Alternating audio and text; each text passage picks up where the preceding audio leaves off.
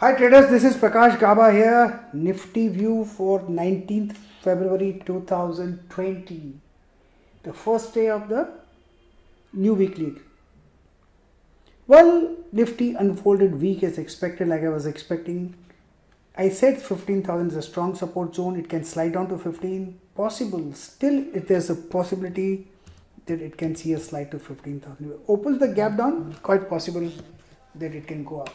Strong resistance at 15,250 and looks like until this is taken out we must not assume it's up. To my mind, I think it can go up. The structure is weak. The up move and down move is weak. If it breaks this 15,000, it could, couldn't do a problem.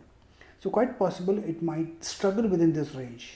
But 15,250 and 15,000 are important levels to work with. Let us look at Bank Nifty. Bank Nifty, I had said 36,000 is a very, very important level to work with. Still, there's a chance that it can come down to 36,000 and survive here. But there's a stiff resistance, I would say closer to 37,300 zones. That is a stiff resistance here. Unless it stays above it, we must assume that it's down. It is into a sideways consolidation zone. So, just remember one thing trading is only about making money, nothing else. Trade what you see, not what you think. Trade the markets, not the forecast. Happy trading and enjoy the ride. Hello.